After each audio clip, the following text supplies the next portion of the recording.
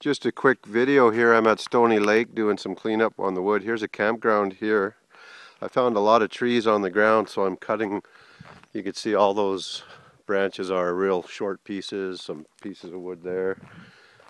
Um, I should have taken a, with the trees laying all over, but I've already bucked them up. Some firewood there, some firewood there. I'm trying to put it in piles. There's uh, some of the branches all real brushed up, real short like those branches. There's a few piles there.